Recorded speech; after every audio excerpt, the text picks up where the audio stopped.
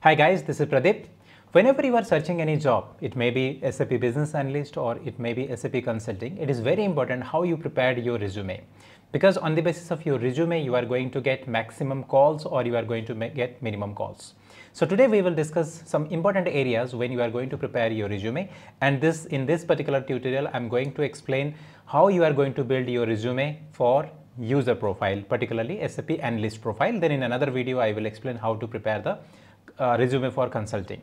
But let me clarify here when you are going to prepare your resume or when I'm going to address this particular uh, scenario because resume I believe it is not standardized. That means whatever I am going to tell you today, it can't be applicable to all the viewers who are watching this particular video. So resume should be fully customized as per individual. Like my resume can't be exactly the same exactly another consultant's resume.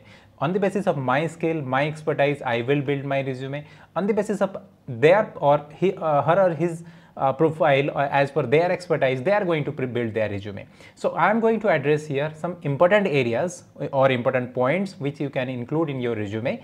But don't think that it, you will just copy paste or exactly you are going to prepare in the same way. So please keep in mind this is very very important disclaimer Whenever you are going to search any job, so for your reference, I have taken here two profiles. So one is related to order to cash. Again, it is related to SAP analyst role and another one is procurement. So what happens the process is whenever you are going to apply for a particular job or anyone is applying for a job, no HR consultant or HR person is going to read your resume. So we have uh, uh, in every company or in HR, they have the ATS application is there so through this ATS application, if your resume is going to be shortlisted, then you are going to get the interview calls. And how our purpose is how to prepare the resume so that it will be tracked in that particular application or in the ATS application. Because on daily basis, how many resume one HR person is going to get? Maybe 1000 or more than that. So do you think that they are going to read each and every line of your resume? Like if they are going to get 1000 so which is absolutely not possible. That's why it is highly required that you are going to build your resume in such a way that so that it will be tracked in the application. So every job profile having its job description you can see this area is known as your job description. So every company whenever they have some requirement they are going to post here in the job sites and they, that we are saying that job description. So if it is O2C, they have some requirements. If it is procurement to payment, right? So here also they are looking. So it is basically what they are looking from one candidate. And your resume is your that means the tool where you are going to market yourself.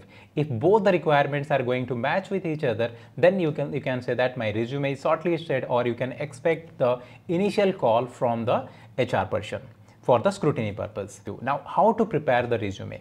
I have seen that resume like people they have prepared the resume like two to three pages. When you are going for initial uh, interview point of view, like I am expecting that you have let's say one year, two years experience. So in that case, don't prepare resume too lengthy. It should not be like two, three pages resume. The resume should not be more than, I believe, more particularly when you are looking for the analyst role, it should not be more than one page or maximum two pages and don't stuff their unnecessary things, right? So I have prepared one sample resume which you can uh, you, in that way you can prepare in that. But again i'm not claiming this is the best resume. As per my expertise as per my experience i just added few points. So you may add that one but you may uh, you may need to do the necessary modification in your resumes right so that you will get the the purpose is you you will prepare the resume in such a way that it will get the maximum visibility so I believe that whenever you are preparing your resume, make sure that you are going to show in the resume whatever is genuine and what you know actually. It's, it's, it's not like you just got a copy of resume somewhere and you do the, all the necessary copy paste. So it should not be like that. Uh, when you are going to prepare your resume, make sure that the things which are you are good or only the things you know only show those things. But simultaneously you have to also keep in mind that you have to add all the requirements or all the skills what you have so that the resume will get the maximum visibility.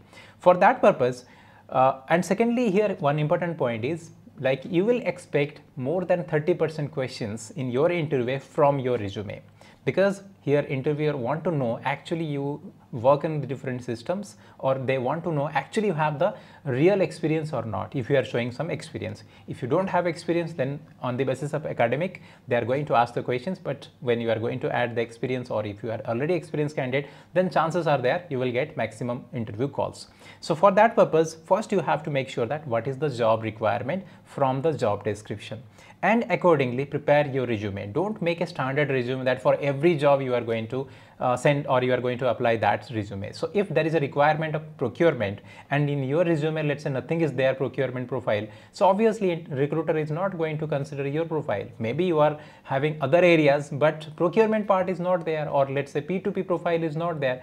So whenever you are looking for a particular profile make sure that whatever they are expecting it should be there in resume again provided that whatever you are showing you should have the knowledge. If you don't know anything on, on that particular then learn it but don't show any fake experience because tomorrow when you will be there in interview so maybe definitely you will get the interview calls as you have added all the stuffs in your resume so you will get the interview calls. But during your interview your, your performance will not be good because you have shown the fake experience or the you have shown the fake informations. So that time unnecessary you will get the negative feedback. So make sure that whenever you are going to show any resume or you are going to prepare your resume maximum information should be there in your resume in the first page itself and if possible make it one page resume or maximum one and a half. Particularly, I'm addressing today SAP analyst role. In case of consulting, if you have more experience, then resume may be lengthy, but it should not be more than two pages or maximum. Like someone having, let's say, 15 plus years experience, it may be three or maybe not required two pages because no one having the time to go through each and everything your resume, starting from your uh, academics, from the high school, all these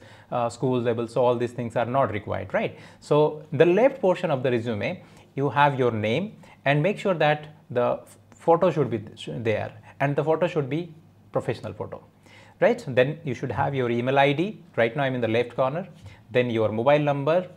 Definitely you need to add your linkedin linkedin profile because most of the time your rec recruiter is going to check you in your linkedin. Right? So that's why make sure that if you don't have the linkedin profile then make sure that you create it add multiple uh, professional net, uh, people in that network but linkedin profile should be there and it is going to help you. Then in the left portion if you'll see in this you are going to show your skills.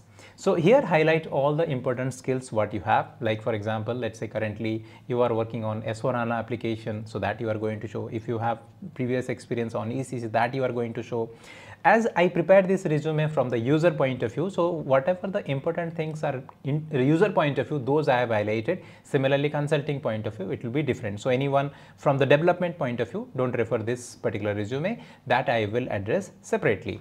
So all the important areas, what you already you have that skill make sure that you you are going to add. So here i have added couple of things which are very very important from the recruiter point of view because what happened the hr person who is going to search your resume or they are going to match your request they are not the technical person. Whatever the information they have received from their operation manager or from their client they are just going to add the same things from the requirement point of view as a keyword in their application in their ats and in your resume make sure that whatever they have mentioned or whatever they are looking here so you have to add some probability. So you need to add those informations. If both the things are going to match with each other then definitely your resume will be shortlisted so make sure that all the important skills whatever you have you are going to mention each and everything. Like if you see here what are the important like month end closing activity. So in month end closing activity is not one activity. Under month end closing activity we are performing various activities whether it is related to p2p o2c r2r so that means you are saying that I have a good knowledge on the month end closing activities because their requirement person should have month end good, good in the month end closing activities. Then in interview, if you are going to ask the questions related to month end question, uh, month end closing activities from different profile, that time you are going to explain in detail. But in resume, don't show everything month end closing related to receivable, payable, all these things. No need to explain. Uh, like let's say there are 20 T codes are there. No need to mention everything. Unnecessary, your resume will be lengthy. Similarly, reconciliation. So particularly if you are from the R2R team, reconciliation is very, very important. So that also you are going to add. So make sure that that you are going to add in the skill segment. Then summary should be there in the right segment if you'll see summary should be there. then your achievements that achievement you are going to show in a such a that it should be professionalism it will show as professionalism like here i have given something like uh, we with an internal audit score of that 100% accuracy that means when your uh, uh, because every process they are having the, their internal audit system. So when your work is monitored by the audit team so like you have achieved 100% so it is a benchmark you have set. You have scored 100% in last quarter or last month. Like this you can show here. Or you did something you uh, developed some process or you are part of a process so that is reduced this much cost for the business point of view. So some initial like some uh, highlight or noted achievements you are going to show here in the equipment segment. So this is your achievement. So you are going to show there. For example, let's say you are the um, employee of the quarter that you are going to show here. Like you can see helped reduce the department cost by 10%. Then in interview they are going to ask like what you did, so how the cost is reduced 10%. That time you are going to uh, explain in detail. But important points we are going to hide. So in the left side, you are going to scale. If I'm going to just have a look into this particular resume, then I can say that, okay, this person is having, these are the skills. So it is going to suit with my requirement. Similarly, I can see that this person having some achievements also. Till now, it's general information. Till now, whatever I have shown here, it is general information. It is nothing related to your current profile or it is nothing related to your previous profile. Coming to the next, so it is, uh, in, I prepared in the PPT form, but on continuous synthesis, that means it is the first phase data only. Next coming to the next segment. So in the left segment, so that means in your resume, right segment, you are going to show your experience and in left segment, you are showing that your education and training. And when you are going to show the education, uh, particularly related to uh, professional education, so that means that you are going to show top. For example, let's say recently you have completed SAP certification, so that you are going to show in the first because your interviewer is not interested how much you scored in your 12th exam, how much you have scored in the 10th exam. So those information no need to show there like professional certifications you did something that you are going to show or for example let's say in MBA finance you have completed like your uh, uh, percentage that you can show that means the most highest uh, like recognition what you have that you are going to show here. And particularly in this segment to be honest recruiter point of view they are more interested your professional qualification than your academic like your school colleges those information they are not looking right? So that you are going to highlight here. If you have some multiple certification definitely add all those things in the education and training or recently let's say you have completed some training. Highlight those things also. Recently i have completed uh, fico configuration. So that in, they can think for you if they have some requirement related to mdm team. Although they are going to hire you from the sap analyst point of view but they can consider that you as you have knowledge of the configuration so they can fit into the mdm team. Or if they have a support role there they can fit. So that's why always highlight all your recent, recent uh, trainings whatever you have completed. Then in the right segment your actual experience so for example here i have taken one R2R record to report and it is Accenture profile. So that's why in Accenture the uh, designation is operation analyst. So that's why I have taken that one. Then you are going to show the time that means from which month then year to which month year a date and on uh, date not required just you are going to show month for example let's say you are working in this particular profile since last 2020 so you are going to show february 2020 to present if you are still continuing on that particular job. Then your company name whatever the company currently you are working and if possible add the city.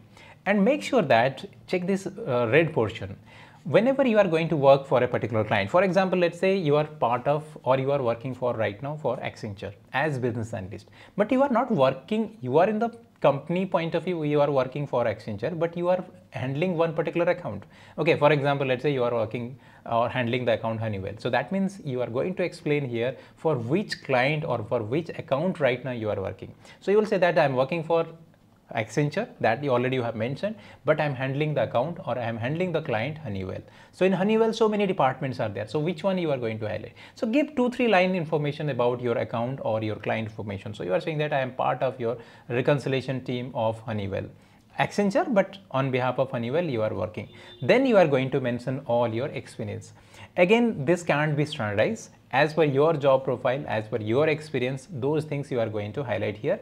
And whatever your important areas you are handling, those important areas you are going to keep in top because whenever someone is going to look into your resume, so they can address. And uh, it should not be like any fancy word fancy letter should not be there. It should be very easily like it should be visible it, prepare in that way right? So you can see here uh, i have mentioned all the important areas. So that means it is you are working as record report but here i have uh, uh, like i'm doing the reconciliation. I'm also doing GR/IR reconciliation. Also uh, maybe in that particular profile i added bit uh, AP part because right now you are working on R2R but you have the knowledge on the payable part also. You can see here AP invoice processing I have the knowledge, PO Uh, invoice, non-PO invoices. So that if there is a requirement of procurement they are also going to consider your profile because you have mixed both the things right? So that you are going to here or maybe right now you are working R2R before like three months four months six months before you are doing something. You have to tweak in this area. You have to show in a such a way that your resume will be shortlisted by maximum recruiters right? So that is that's why I said that it can't be standardized. It should be one to one it should be customized so that that should be there. So in in this area you are going to play with your profile in such a way that it should be or it look like very very attractive. Similarly if i will take another one. So this one is related to one finance profile F&B we can say. So this one is basically uh, for example if we are going to consider this profile so same informations for which company you are working for which account you are going to work and all your important areas you are going to have. So this is another profile. So in this area you are exactly going to show what currently you are doing or what was your previous experience. So make sure that whatever the experience you have you are going to show let's say five years experience you have on these areas or four years experience actually your recruiter is not looking for very old profile. They are mostly going to check in detail your current profile and your previous profile. If they will find that those profiles are good or it is matching with their requirement, then you will get the interview call. So if you don't know anything, then how to get it? So you learn it, simple logic. If you don't know anything, you first learn it, right? So I already prepared so many videos in my channel. So if you go to my YouTube channel, here you can see different playlists are there. So these are the different playlists, but these three playlists, one is the R2R process, O2C and P2P. So in every profile or sorry in every playlist you will get a couple of uh, videos and I I'm trying to add multiple videos in all areas. So if if you have any like any list is there can mail me so that it will be easy for me to prepare those videos from the user point of view. But make sure that uh, you need to prepare your resume uh, as per the recruiter's requirement. So as I said 30% questions from your resume, 70% questions you will get from the job descriptions, right? So in every profile job, job descriptions are there and you need to thoroughly study or you need to read all the requirements and according. Like for example, let's say here knowledge of SAP is must if someone is not having SAP knowledge, they are not going to consider, right? So there is a requ requirement of uh, reconciliation skill. Then 100% that skill should be there right? So once you will go through all these details then you will get the idea how you need to prepare the resume. And don't just copy paste you get the resume from friend and just save as. Don't do that. You prepare resume, your resume thoroughly as per your skill then definitely you are going to get the results. So if any feedback anything please mail me because uh, uh, on the basis of your feedback uh, I will add in my next video or anything I missed please let me know. So I hope uh, it will help you when you are going to prepare your resume